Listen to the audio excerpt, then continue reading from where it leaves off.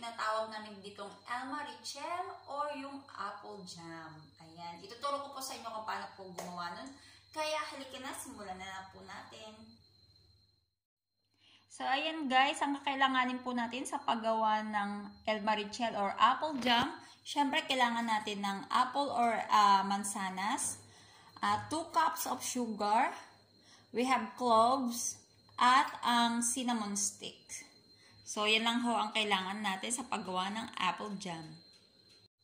As you can see guys, nahugasan na natin itong ating elma or ang ating apple. Tapos gagawin lang natin is, babaltan natin siya at hihiwain natin siya ng maliliit na parang cubes. So, let's start now.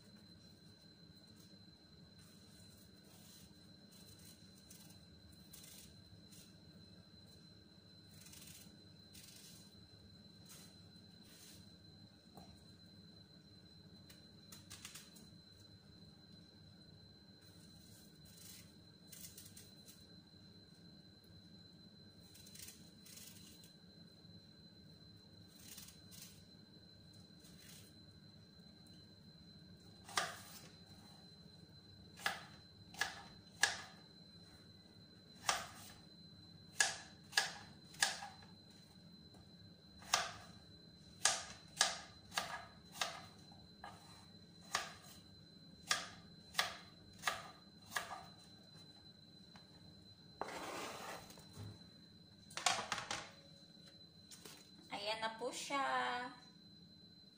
So, ngayon guys, nahiwa na po natin itong ating ano, uh, mansanas. Ngayon, ilalagay naman po natin yung ating isang cinnamon stick na hinati. Ayan. Ang ating uh, cloves. Ayan. Ayan.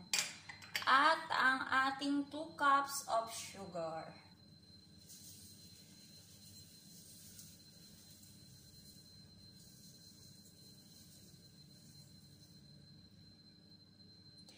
Ngayon guys, lalagyan po natin siya ng half cup of water para hindi po masunog agad yung nasa ilalim. At ngayon, pwede na po natin siyang isalang sa apoy, sa mahinang apoy lang po.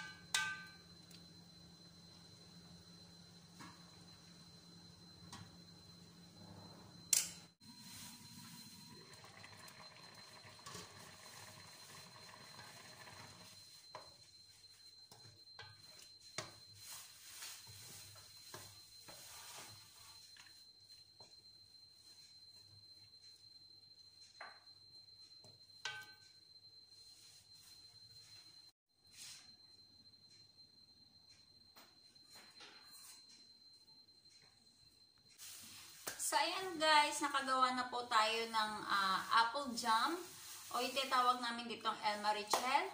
So, maraming salamat po sa pagsama sa sa araw na ito. Kung nagustuhan niyo po ang aking video, don't forget to like and share. Ito hindi pa po kayo nakapag-subscribe.